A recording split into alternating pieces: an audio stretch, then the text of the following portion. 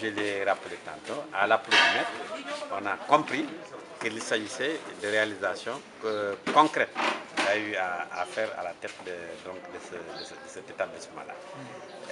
au nombre de ces réalisations, c'est véritablement le fait qu'il ait carrément humanisé les rapports entre euh, le personnel pénitentiaire euh, et les, pensionnaires. Cela est important.